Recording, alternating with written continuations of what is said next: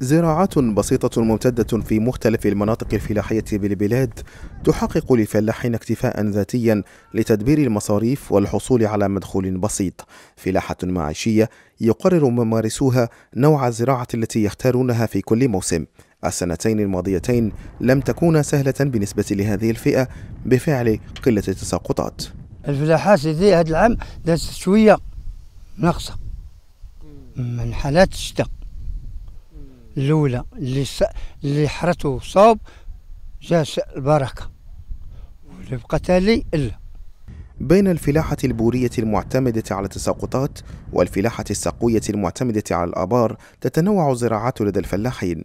أغلبهم يعتمد العمل في قطع أرضية صغيرة يدمج فيها مزروعات مختلفة لرفع حظوظ نجاح الموسم الفلاحي. هنايا تنديروا المعدنوس تنديروا النعناع تنديروا شي ديال البوروق بسباس باربا نديروا اللفت. ايوا الشيء هذاك الشيء أخويا فهمتيني على قد الحال بنادم تمشي على قد الحال فهمتيني؟ تخدم بهذاك الشيء اللي كاين اللي عندك.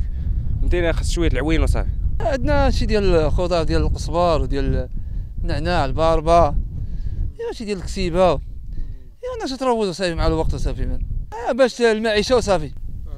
يا شي ديال حسب ديال كله شنو دير كسيبة كاين اللي دير خريفات كاين اللي دير قليمة داكشي باش الناس باش تعيش وصافي. المعيشة. فلاحة صغيرة جدا يوفر لها مخطط المغرب الأخضر المجال للتوسع عبر دعم السلاسل الفلاحية شريطة الخضوع للمعايير المعمول بها للاستفادة من الدعم المخصص لصغار الفلاحين. تطور العالم القروي رهين بتقوية الفلاحات الصغرى والمتوسطة التي توفر ألفا من مناصب الشغل على المستوى الوطني.